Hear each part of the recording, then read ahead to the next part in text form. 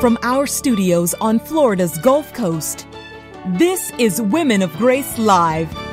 Join us today as we discuss issues important to your life and faith spiritual insight, compelling discussion, practical wisdom.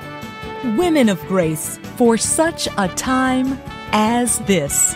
Now, here's your host, Johnnette Benkovic. Morning, everyone, and welcome to Women of Grace Live. I am Johnnette Benkovic, and I'm thoroughly delighted to spend this time with you today. We've got all kinds of good things coming up for you in this period of time that God entrusts to us so that we can, in many ways, join together as the mystical body of Christ and make his face manifest, right, in this our day and time. So I do invite you to join us right here on Women of Grace Live. As you well know, it is a live broadcast. That means that we can accept your phone calls.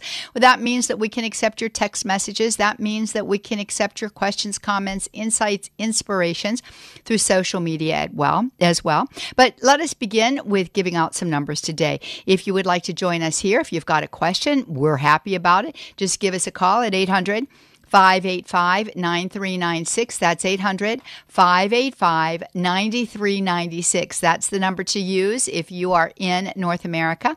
Again, I'll slow it down for you. It's 800 585 9396. If you're outside of North America, I've got a number for you too. I do. It begins with the country code. It's country code 1 205 271 2985. That's country code 1 205 271 2985. Well, there's all kinds of things that are going on uh, upcoming. I'm very excited about many of them. I don't know if you're aware of the fact that this beautiful convocation is going to be taking place in Orlando, Florida, and it's beginning on July the 1st, which is this coming Saturday, and it's going all the way through until July 4th when it closes. And the purpose of this particular convocation is to bring together bishops of the church as well as delegates from their own individual dioceses and archdioceses and additionally, people that are actively engaged in lay apostolate or lay ministry to discuss some of the pressing, pressing issues that we're facing within our culture today. Uh, there was a convocation 100 years ago in 1917 uh, that took place at, right after the world, uh, First World War, and it was to discuss those issues and how it is that life gets back to normal and what is the church's role and how do we assist individuals at this moment in the history of man. And I, I think, in like fashion, so many of those issues are going to be discussed at this convocation. Plenary sessions will involve varieties of speakers uh, who will address a certain issue. And then the people that come are going to break up into discussion groups to delve a little bit more deeply into that which they heard. Uh, strive striving to come up with some resolutions as well as uh, solve some of the problems that we face today and determine how is it that we, as the mystical body of Christ, uh, can be efficacious in helping people through this time and making the face of God present? Uh, about 4,000 people are expected to be in Orlando, and I want to let you know that you're going to have an opportunity to view some of this uh, as as um, EWTN television is going to be there broadcasting, and EWTN radio is going to be there broadcasting too. So I wanted to make you aware of that. You might set your schedules around that a little bit. I don't think you're going to want to miss what is taking place there. I know I'm not going to. As a matter of fact, I'm going to be there, and I will be hosting this event along with Jonathan Reyes from the USCCB. So please do pray for this event. Um, should have saved this, I think, for the bottom of the hour, but I'm giving it to you right up front here. Uh, we cer- certainly do ask for your prayers that this convocation will achieve the purposes that God has in mind for it. And speaking about that, it reminds us of the fact that each one of us is called to achieve the purpose for which God has in mind for us. I was thinking, um, you know, just recently about the fact that, you know, this God of ours intends to use us in dramatic ways. And he intends to use us in dramatic ways to the extent that we permit him to take up residence within us. And we've been talking about a number of things through the course of this week that involve that great reality. And we've been talking about the fact that we want to give over to our Lord Jesus Christ all of those territories in our heart that need to be healed, all of those territories in our heart that need to come into a right understanding of who He is and who we are, of His love for us, of the way in which He wants to work in us and the way in which He wants to work through us. And um, I was reminded of something this morning. I had a lovely little conversation with one of my two daughters, and we were talking about the way in which it seems that, you know, God kind of brings people to us who might need to be reminded of the truths of the faith. You know, I don't know if you've experienced this, but I think that when we uh, seek to view the hand of God moving through the ordinary as well as the not so ordinary events of our lives, we often find that God is about a work that He wants to do through us in the lives of others.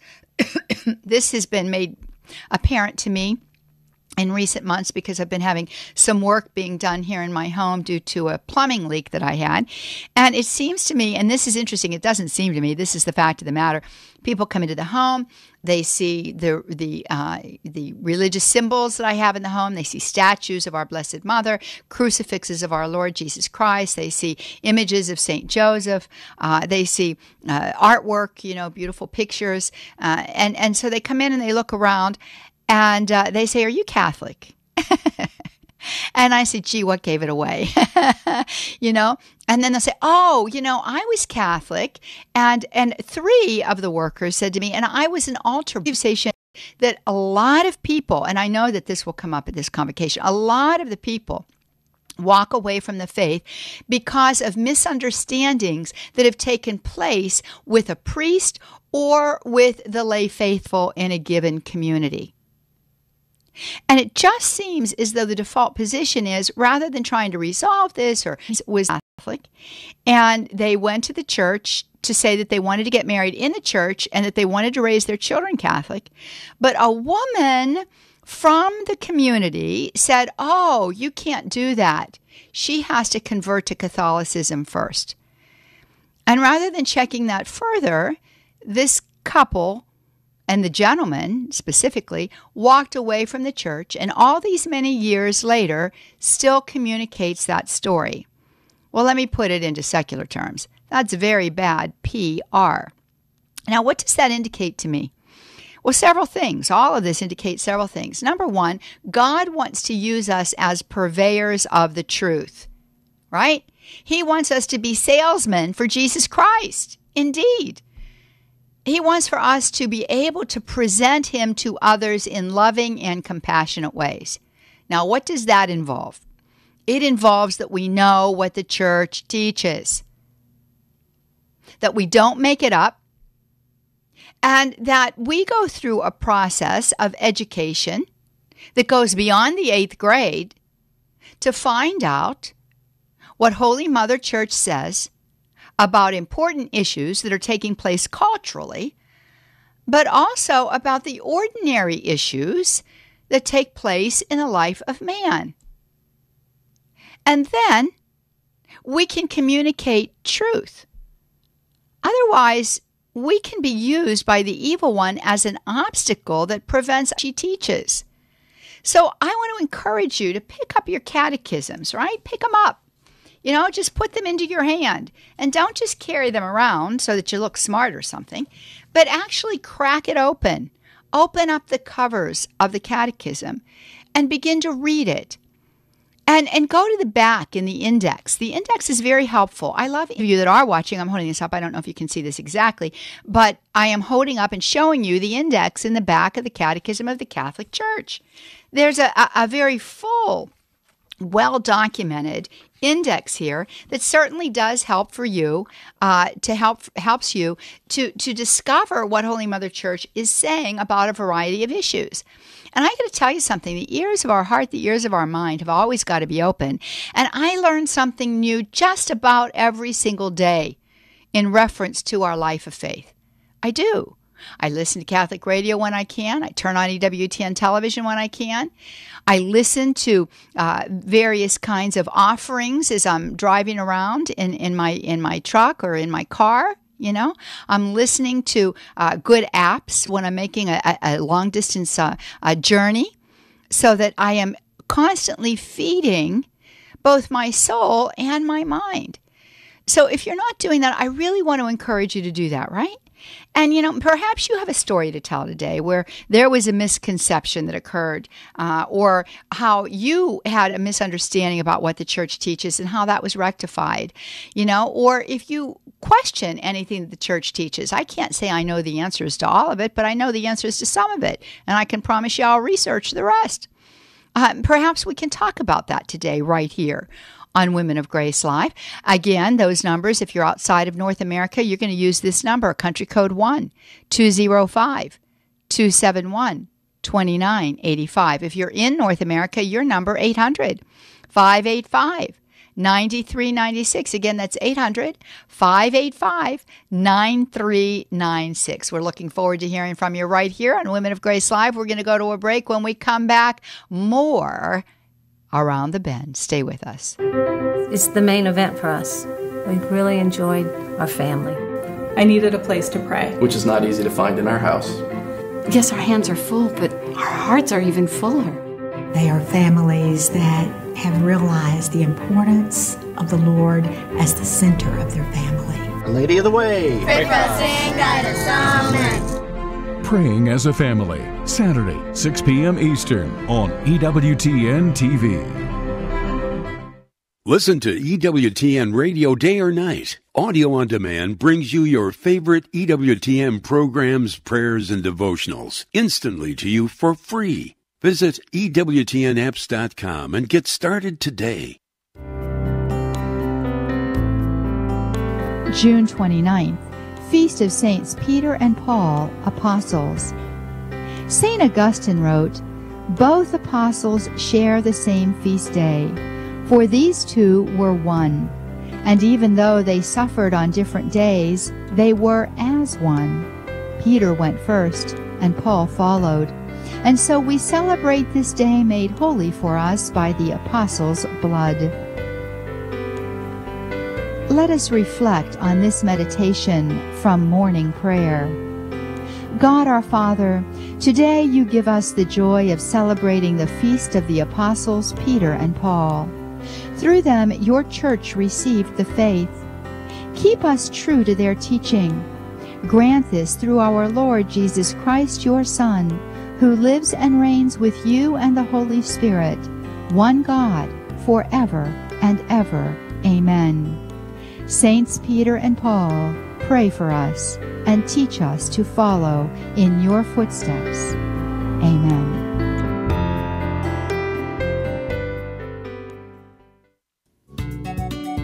If you'd like to receive a daily grace line by email, go to womenofgrace.com and click on the word Grace line.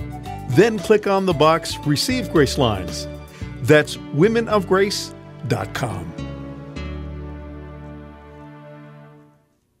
Hello, this is Father John Paul Mary. This is Debbie Georgianni, co host of Take Two with Jerry and Debbie. My friends, this is Bishop Kevin Vann of the Diocese of Orange. I want to thank you very much for listening to the EWTN Global Catholic Radio Network.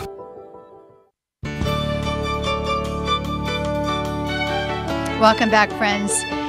I am so happy to be with you live here on Women of Grace today. Oh my gosh, I've got so many things going on in my mind all at the same time. Can you imagine such a thing? Different tributaries of thought happening here. We're delighted that you're with us too. We're inviting you to give us a call 800 585 9396. It's 800 585 9396. It's the way that you can join us live here on Women of Grace Live if you're in North America. Outside of North America, it's country code 1205 271 2985. That is country code 1205 271 2985. I was out there on the break uh, just taking a look at uh, EWTN Radio's Facebook page and YouTube channel and giving waves to all of you. Michael Morvan out there, he said he was giving waves, and I'm giving waves back. Uh, we're always so happy to hear from you. So just join us any which way that you can. Uh, we've got Mary with us, and she's in Sever- Sevierville, Tennessee. Boy, did I butcher that name of that city. Hey, Mary, how are you today? Fine, thanks. How do you pronounce the name of your city so I can learn? Sevierville. Sevierville. Okay. It's not very severe, though, is it? I mean, people are no. friendly, right? right. Has to be. They're in the South. yes. So, what's going on, sweetie? Uh, well, I keep remembering my last few days. I, I told someone I know that uh, at least I've heard several times that we read parts of the Bible as historical and parts as um, literature or something. Yes. I, you know, like three different ways, and it just won't come back to my head exactly what I've heard before. Okay, well, so let's let's just talk about Bible. You know, uh, Bible really is a. It, it comes from, um, I, I believe it's a Latin word, uh, bibliographia, uh, which is a collection. You know, it's a, it's a collection, so it's a library basically. It's a library of books, and just as we know within any library, uh, whether it be a small one that you have at home or you go to your city library, you know, it's a collection of a lot of different kinds of books that are written for different purposes and in different ways. So, within the context of sacred scripture, we have a, a representation of that, sort of like a microcosm of that. So, we'll have some books that are more historically oriented, like Chronicles, for example. We'll have some books that give us uh, ways to live our life. We see that in some of the uh, uh, books of the Old Testament. Leviticus is, is an example of that. We have books that, that are allegorical. They're teaching us lessons through uh, through storytelling, which is what an allegory it, makes comparisons, but they're moral stories as well. And we have books there that, that are very poetic. The Psalms would be an example. The Song of Songs, absolute beautiful poetry. Uh, so we have a variety of different types of genres of literature in there. So yeah, so you mentioned two of them. You mentioned the the fact that th- there are some that you know uh, are are are more oriented towards history, and and some are oriented. You know, I mentioned poetry here. Some are more storytelling, allegorical. Uh, some we're supposed to take as historical fact. Others are teaching us a lesson. So we have to be aware of that. And in most Bibles, at the at the introduction to the book, it's going to give you uh, an insight into what kind of literature this is and, and how it needs to be read. But even within the context of those stories that many people would relegate to allegory or would relegate to a fable of some, some kind that's got a moral uh, uh, truth in it, um, there is still history contained. And this is why it's important for us to view sacred scripture through the lens of the Catholic Church, because the church helps us to understand that. For example, there is an encyclical letter that was written by Pope Pius XII called Humani Generis. And in that particular uh, letter, and he wrote this because of, I think, the, the theory of evolution, Darwin's theory of evolution, and people were very confused. Did Adam and Eve exist? You know, did we descend from apes? What is that all about? And he, he lays out very carefully what it, what it is that we must believe with regard to the creation account. And what he does say is that, yes, there was one man and there was one woman, and we all descend from them. So he lays that out for us. So in the midst of a, of a tale, like was it really a snake in, a, in the tree that talked to Eve? Well, we, we kind of have evidence of the fact that if we look at Revelation, that it probably wasn't a snake. It was more like a, a, a dragon. It's it's like the dragon that is mentioned in Revelation, but basically it was the evil one, right? So you know he the, these kinds of things are, are are are factual in some ways, and yet they're teaching us a deep moral lesson in other ways. Now, there's also something to be said about, uh, and I thought you were really headed in this direction when I saw the little squib here on my board. Um, I, you know, how do we read? How do we read sacred scripture? There's several different levels upon which we can read sacred scripture. One is the literal level. And so we look at that literal level and we see what the words actually tell us. You know, Jesus is walking through Samaria. He arrives at a well. He sees a woman sitting there. And so this is the story. But then there's more that's going on in that beautiful story. I think it's in John 4 of the woman at the well, than meets exactly what's on the text. Uh, what is happening there beneath the surface? What was that all about? Was it that Jesus was really thirsty and he just met up with this woman and he has this conversation with her? No, it isn't really just about that. He is wooing her. He is wooing like a lover woos someone. He is wooing her to himself he, he wants to invite her to drink the living water. And who, is the source of that living water? He is. And so what he's doing is, you know, he's he's bringing her into knowledge of who he is. So much so that at the end, of that that incident in sacred scripture, she runs off and she tells everybody else, you know, let me introduce you to the man who told me everything I want to know. And she actually admits to Jesus, "You are, sir, I perceive that you are a prophet." And he goes on, and and and the Messiah, and and he and he acknowledges all of this. So we have that level. So we've got the level where it's just the facts, ma'am, nothing but the facts. Then we've got the level where we watch and we see what this interaction could be communicating. But then there's still a deeper level to that. It's Jesus talking to you, it's Jesus talking to me. And he's giving us a lesson about his love and his mercy. He's giving us a lesson about how there is no sin that is so great that it cannot be forgiven. Um, there is no person who has committed any kind of horrendous act for whom our Lord does not want to reveal his heart and reveal his love and invite them to taste and see that he indeed is good. So we read that and then then we can even take that a step further, Mary. And this is this is so beautiful. We take it into into prayer time. We ponder that story. And we ask the Lord, what are you saying to me specifically in this moment, Lord? What what what needs to be revealed in me in the light of your truth that I may might make repentance and and come back to you? Uh, you know what, Lord? What are you saying to me specifically? And we we stop and we listen. And way down deep in the bottom of our heart, where St. Francis de Sales says, we hear the voice of God we hear this beautiful divine communication that can come to us in the form of images. It can come to us in the form of words that seem to play in our mind. It, it can come to us on the breath of the Holy Spirit that just breathes it into us. And we're forever transformed by that moment. So, sacred scripture you know it is it is it is especially used in prayer it's the backbone of our spiritual life. It informs us on so many levels. So I hope that helps you today. If I may, what brought this up was the story of the loaves and the fishes, and I was telling someone I didn't know how to explain that, you know, how we should interpret that. That it just really, uh, were there really five fishes and or whatever? You know the story. Sure. Uh, better well, yes, and let me tell you about that story, Mary. This is what the church says yes, that really took place. Okay? Yes, there was a multiplication of the loaves and the fishes. That is not allegory. That is not there just to teach us a lesson. It, that is factual. All right? So that's historical.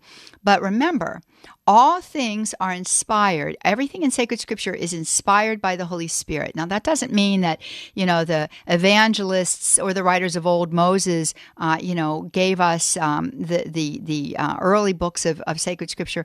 It doesn't mean that they, when there was a trance or, you know, they were lifted up, it, it that isn't the kind of, of um, inspiration of the Holy Spirit that, that happens. It means that they sat down to write an account, and the Holy Spirit brought into their minds that which they needed to uh, develop and write, and that He was there guiding them in that process. And lots of people um, who write can, can attest to that fact that sometimes little thoughts just come into your mind, and you say, Where did that come from? Well, we know where it comes from when you're doing a work for the Lord. It comes from the Holy Spirit.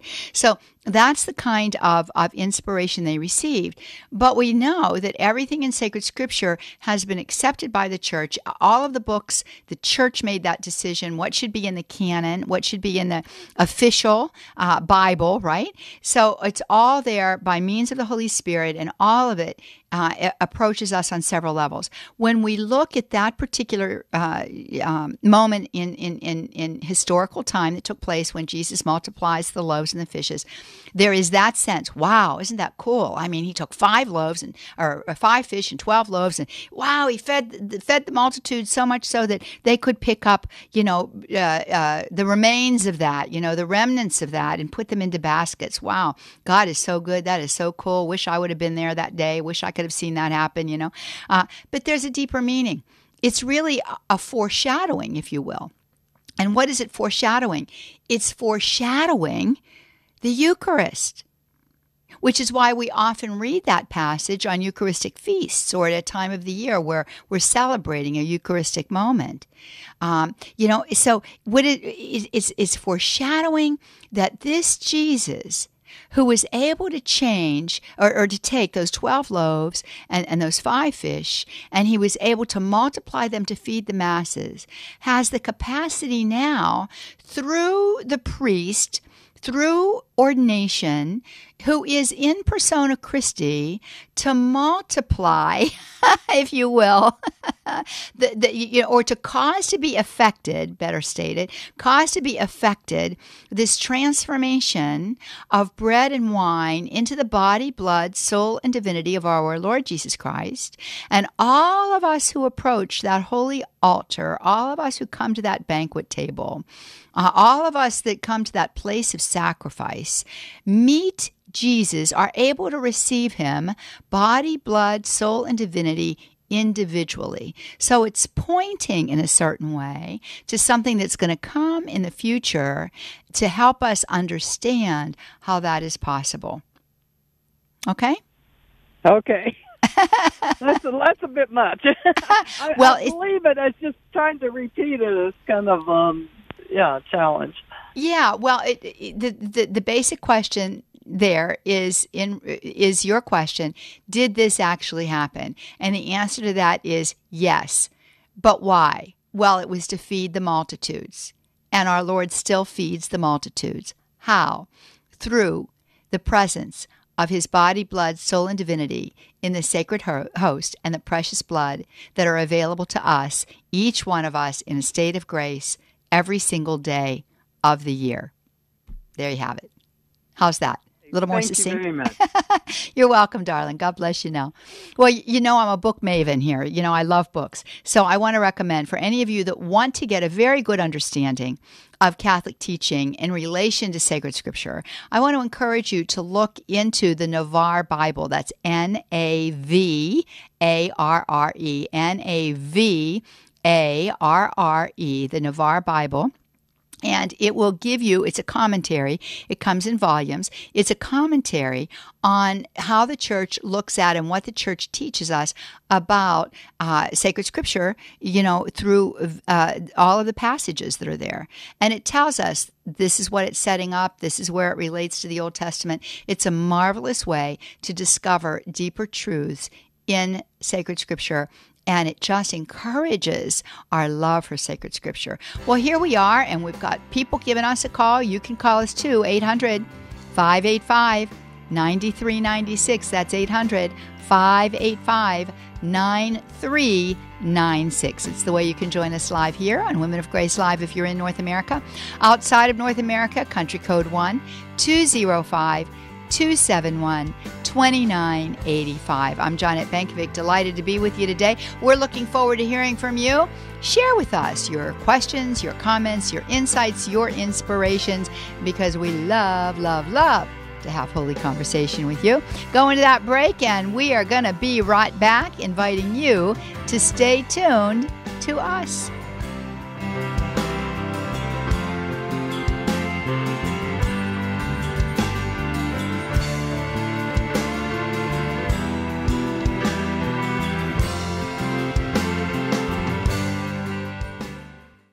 Hello, friends. The message of Our Lady of Fatima is more relevant today than ever before. I'm Father Wade Menezes of the Fathers of Mercy, and I look forward to joining Johnnette Benkovic as we unpack the mystery of this important prophecy. Join us at the upcoming Women of Grace retreat themed Our Lady of Fatima and the Triumph. How will the battle be won? Being held at Malvern Retreat House July 7th through 9th. Visit womenofgrace.com or call 1 800 558 5452 for details.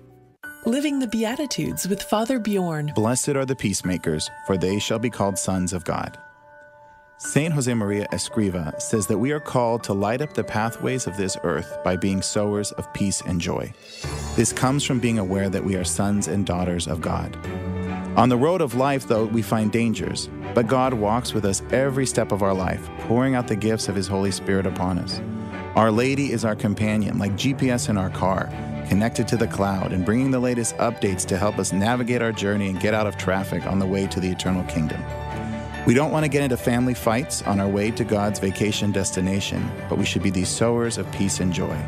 We shouldn't accept substitutes, accept only the authentic identity of being His children, His sons and daughters.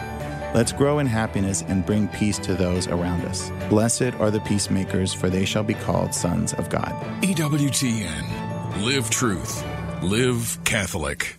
Don't miss EWTN's live coverage of the Convocation of Catholic Leaders, hosted by Johnnette Benkovic and Dr. Jonathan Reyes, July 1st through the 4th in Orlando, Florida. Catholic leaders from across the country will gather to identify the challenges our church faces in today's culture and work together to develop solutions. The Convocation of Catholic Leaders, beginning Saturday, July 1st at 1 p.m. Eastern, here on EWTN.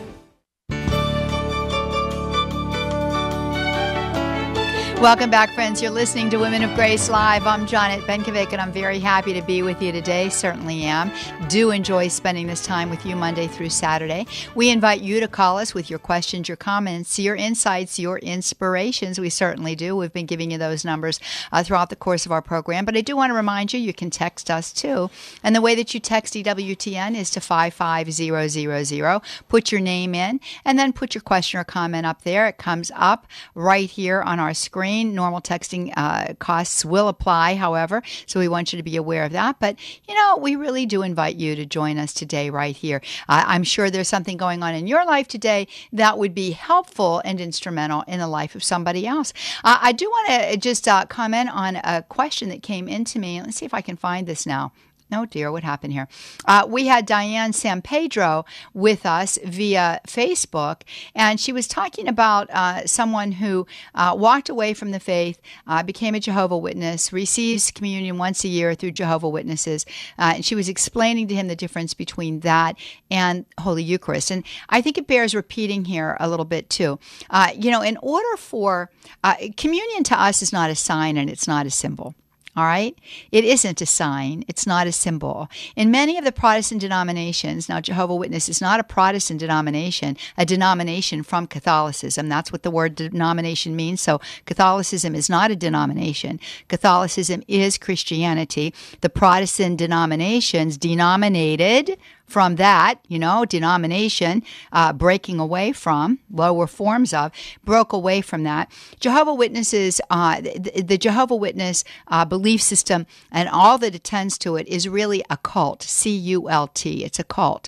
So I want to mention that. But nonetheless, many of uh, Protestant denominations and these cults will receive something that they call Holy Communion but they see it as a sign and a symbol.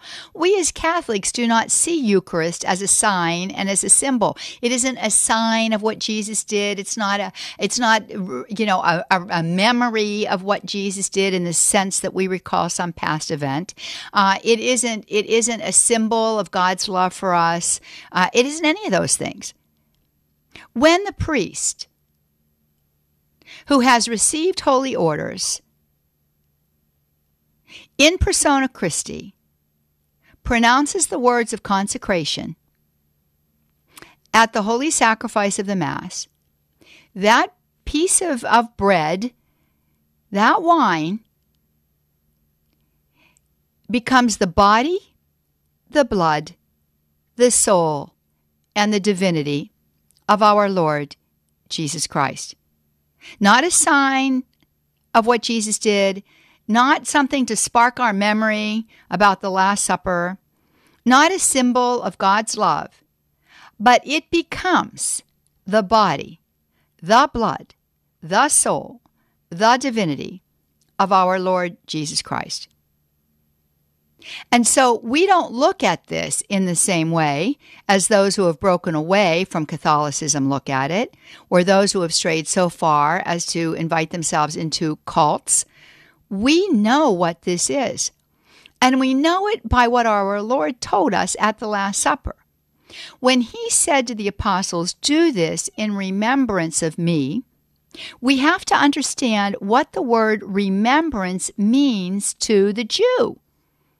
Now, remembrance in the Jewish context is not about something that we rem- that we look to that's in the past, a past event, or something that occurred a long time ago and we say, oh, isn't that nice? Do you remember? You know, I read in sacred scripture, gee, you know, that was lovely. It happened in time and I can think about that now. Uh, but it, it, it, it isn't anything that's really applicable to today. That isn't the Jewish understanding of remembrance. The Jewish understanding of remembrance is to make the past present again. Let me say that. The Jewish understanding of the word remembrance is to make the past, that which happened in the past, present again. No longer something that's blocked off to us because of the passage of time, but something that happened in time and exists in the eternal moment and therefore can be experienced in the present moment. I know this is a big concept. I get it. We've got to start thinking not in Chronos time, the time of clocks, but in Kairos time, the time of Christ. All right? Kairos time, Christ, Chronos time, clocks. All right?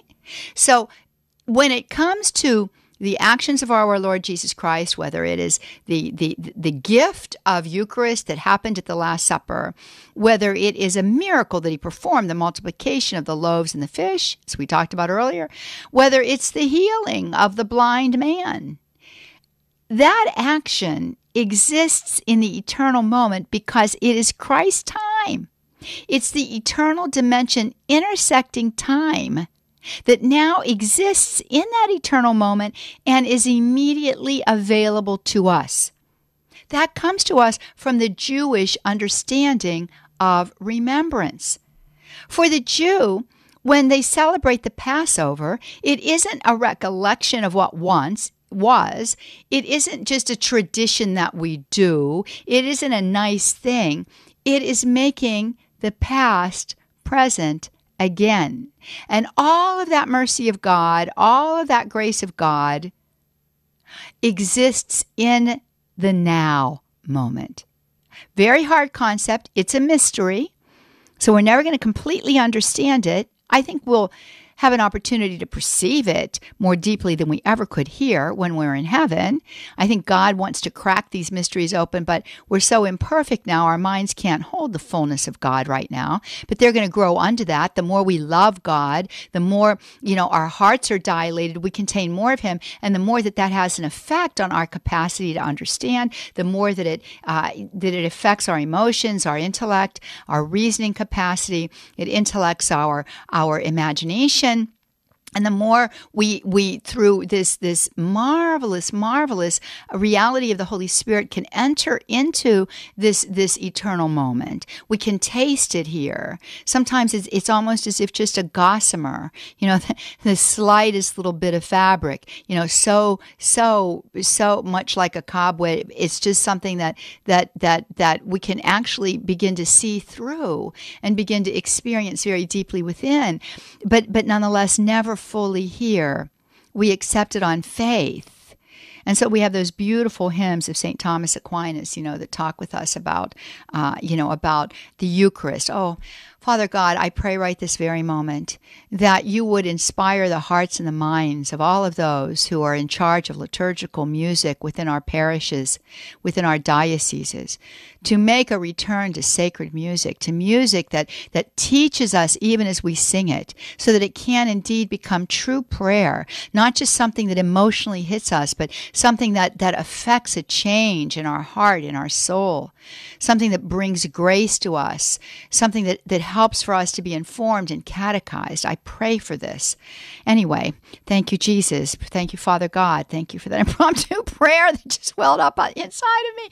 Anyway, huh, well, we return to the present moment here, right? Um, and so the fact of the matter is, when you're talking about this, Diana, this person never really understood Eucharist. And maybe now that you understand it a little bit better, or maybe I've, I've, I've added something to, to your knowledge or, or, or your life of faith through it, well, then you can take that to him now. Now, there was another part of your question in there that had had something to do with people living with each other and they're not married. Does it really matter? Yes, it does.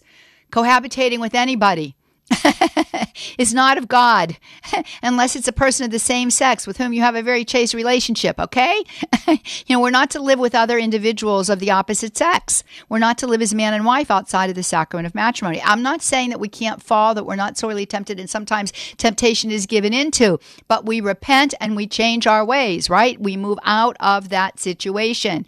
And the fact that this person wasn't married civilly has or wasn't married in the church has nothing to do with it. Nothing to do with it. Uh, if that person has not received an annulment, even an annulment of form, you know, then then it's an adulterous relationship. It's a fornicating relationship. So there you have that end of your question. Well, let's get back to the phone line. See, uh, we want you to join us here. Let me give you those numbers again: 800- 585 9396. That's 800 585 9396. If you're outside of North America, your number, country code 1 205 271 2985. That is country code 1 205 271 2985. Uh, just taking a little wee look out here uh, on Facebook uh, and, and uh, YouTube channels. We have people with us from Kuwait today, from Zambia today. We have somebody with us from Dublin. We have Sebastian So from Singapore today. It's always wonderful to have all of you with us. And I want you to know you can call us with your questions and comments as well as posting them here. And those numbers again, if you're outside of North America, country code 1 205 271 2985. Country code 1 205 271 2985. If you're in North America, again, 800 585 9396. Our call screener today, Matt Gabinski, our producer, Tom Gray. We're grateful for Rich Jesse, who's there with us on uh, our social media, and uh, we're grateful for all of you for listening. Wanted to read something to you. I shared with you yesterday, you know, about purchasing these books at this library sale up there at Orchard Lake Schools. I had such fun. Have to admit to you something, though. I did call one of the students and ask her to get me another book that I saw on the shelf. Oh, my goodness sakes. You know, ah, gee, I pray about it. Lord, do I have too much of an attachment to books? And I'm pretty positive I do. So I've got to work on that. Um, just not right at this moment because I want to read you something really fabulous from one of the books that I picked up. And we say, well, you know, how is it then that I grow in this knowledge of God? How is it that, that, that I, I, I continue to move forward in my life of faith? And it all has to do with a four letter word and it begins with L. Can you guess what it is? Four letter word begins with L. you know, very tempted to do charades here. it's love. Love, love, love. And it isn't the emotion of love and it's not the passion of love, it's the action of love. It is loving God. And Jesus tells us how to love Him. He tells us to love Him by loving one another, to love others as we love ourselves. That's kind of a twofold insight, isn't it? We've got to learn how to love ourselves and we have to love others as well, as if they were another self. And the only way we can do that is through the love of God welling up within us. He's the one who gives us patience with others. But I'm finding more and more, He gives me patience with myself, you know? Putting up with my foibles, saying, I'm not perfect yet, but I sure am trying, right? I'm sure working towards it. That's what I say about Maggie May, my little puppy. People say she's so cute. And I say, yeah, she's perfect. And when she isn't, she wants to be, right? So, in some ways, you know, we're, we're attaining virtue, we're growing in perfection. In other ways, you know, we're not there yet, but we want to be, so we start to exercise that virtue. Very practical lesson there. But here's a here's a comment in this beautiful book that I picked up um, up there at the library on uh, the property of Orchard Lake Schools. Discourses on Our Lady by Father O'Rafferty, and he says this. He says, "No mind can ever conceive, nor tongue describe the fire of love." Toward God that continually burned in Mary's heart. And see, I want to tell you, this is another really good tip here. If you know that you need to love God more, and let's face it, none of us love Him sufficiently. We don't. I don't care how much you love him. It isn't sufficient. He loves us unto perfection. He loves us unto infinitude. And since we're not perfect, and we have not the capacity to contain infinitude in us yet, we really don't love him enough. And I find that when I ask Our Lady, Mother, you loved God to perfection. you know, you did. You were perfect. I'm not. So, Mother, help me to grow in love of God. Help me to love Him more. I like to pray this too Jesus, help me to love your mother more. Mother, help me to love Jesus more, your son right? Beautiful thing. And guess what? Our Lady does that. So we can never love God as much as Our Lady loves God in our temporal state right? Maybe something else will happen in heaven. I don't know. I can't wait to get there and find out. So he goes on and he says St. Teresa of Avila was called a seraph of love because of her ardent charity. But if all the rational creatures of the earth were so many seraphim of love, and if all their love were put together, it would not equal that of Mary. Mary's love for God surpassed that of all the saints who ever lived upon this earth. Indeed, as St. Bernardin asserts, it surpassed that of all the angels of heaven.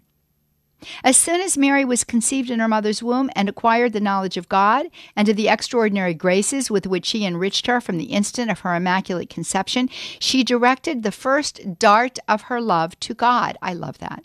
I love that kind of phraseology. And from that moment, she never ceased to love him with her whole heart, with her whole soul, with her whole mind, and with her whole strength. As she advanced in age and grace and virtue, oh, where is that a throwback to? What does that remind you of? Does it remind you of when Mary or when Jesus was lost in the temple and Mary and Joseph approached? And do you remember that scene?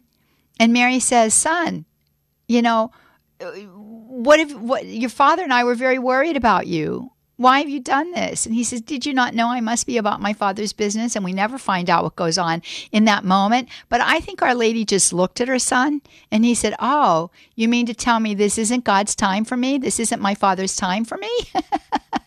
and of course, that would have been what she was communicating. We know that because in Cana, she does tell him, No, now's the time. He says, Hey, woman, what does this have to do with me and you, the fact that they have no wine? And she just looks at him. She looks at the servants and says, Do whatever he tells you. And he knows full well, and he communicates to her, You know what this means. If I start to do this, this, this, you know, I work this miracle, then it's going to get me to Golgotha. It's going to get me to the ultimate sacrifice. And she says, Do whatever he tells you. And Jesus turns the water into wine. She tells him about his mission, when it is and when it isn't. But then after that, when he's lost in the temple, do you remember the next line in John? What it says there? It says, He returned to Nazareth with his mother and his father, and he was obedient in all things, and he grew in wisdom, age, and grace. A little teaching there. If you want to grow in wisdom, age, and grace, and here now I'm talking about spiritual age, if you want to grow in that way, it begins with a preliminary, primary, most important virtue obedience. And what does obedience flow from? The queen of all virtues, humility. So here, you know, Father O'Rafferty, what is he saying about Our Lady? Just tickles me to no end. Just tickles me. Absolutely tickles me. It says this As soon as Mary was conceived in her mother's womb and acquired this knowledge, you know, of God, her first dart of love goes towards God. And then he says, as she advanced in age and grace and virtue, clearly a reference back to Jesus, right? So she's growing under her son. Oh, so good. As she advanced in age and grace and virtue, her love of God increased in proportion. It increased in proportion. Is that good? Oh my goodness. I love it. So we have to grow in wisdom, age, and grace, and we do it the way Jesus did it through obedience, which is an indication of, of total humility to the word of God and the things of God and his will.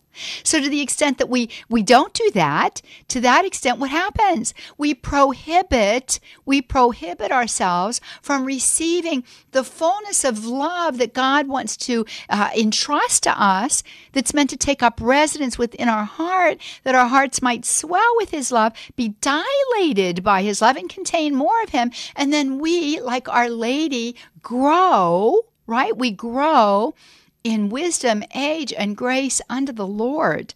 That's how we do it. That that that's it. That that, that is it in a nutshell. That's the spiritual life.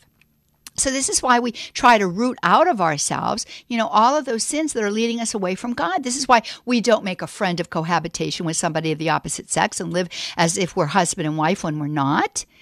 You know, it's why we don't have premarital sex. And when we do, we pick ourselves up and we rush to the sacrament, right? I mean, it's, it's why we repent of all of the ways in which we hold on to lack of forgiveness. It's, it's what sends us into the confessional over, over sins of omission.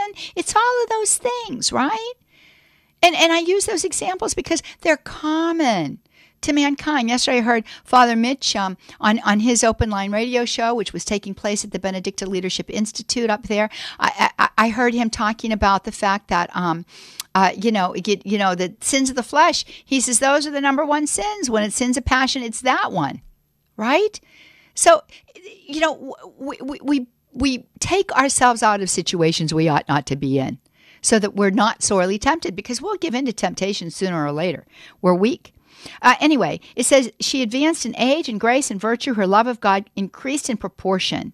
And then he goes on and he says this Yes, Mary loved God not only by frequent acts of charity as the saints did, but by one great continuous act of love, which was her life. Isn't that beautiful? Mary's entire life was love of God. Now, this gives me a whole lot to examine my conscience about today. I don't know about you, but it gives me a whole lot. Well, let's get to these phone lines. I've been chit chatting away here. I apologize. Catherine, Syracuse, New York, listening to us via Station of the Cross. Catherine, how are you, honey? I'm doing good. How are you? I'm doing fine, thank you. So, what's going on in your life? Um, well, basically, um, I am in recovery from Mm-hmm. an addiction uh, problem Yes, that had dear. been going on for many years. And, um, you know, I went to the rooms of, you know, um, 12 step programs and into rehabs and, you know, name it. I tried it and Yes. I, I couldn't stop, um, you know, using a substance. Okay. And it was like there was a hole in my soul that that I couldn't fill. And um, what I found is uh, the missing puzzle piece, you know, as some may say, was God. And um, and as soon as I I reached out my hand to God and, and grabbed a hold of God, um, who had been waiting there all along, uh, you know, there that was lifted. The obsession was lifted off of me, and um, and I, and I'm just so grateful. And so, really, what I wanted to ask is, I feel that um, that uh, God's telling me to um, to bring people to Him to maybe get into uh, a practice uh, spiritually based to help with like healing and um, and to and to bring people to God. And um, so, I just wanted to know if you know you think that that is a good idea. Well, Catherine, I want to tell you, I absolutely congratulate you. I am, I am so proud of you, and I'm so happy for you that you are in recovery, that you're remaining true to this recovery, that you're cooperating with Grace every day to help keep you in recovery. And I do want to recommend that you know support groups can be very helpful in keeping us along that path. And I always try to recommend that you find a recovery group that holds on to the same truths of the faith that you hold on to, right? I want for you to try to find uh, good Catholic friends who are in recovery, uh, where the, the faith and this life of God means everything to them. You are right. Without God in the uh, in the center of our life, it is very hard to remain to remain in recovery. And for you to share your travail with others, to help others come to this place, that in and of itself will help to hold you in recovery. I think it's a brilliant idea. It's a scriptural idea. You go out there and you read uh, 1 Corinthians right there. I think it's in chapter 1. St. Paul talks about that. It is a holy thing to do. And if you feel that you are strong enough to do that, always realizing that you need people that are supporting you in prayer and that you're seeking that support, then I say go for it. But it would be good to have someone else who is in is strong in recovery to go with you. So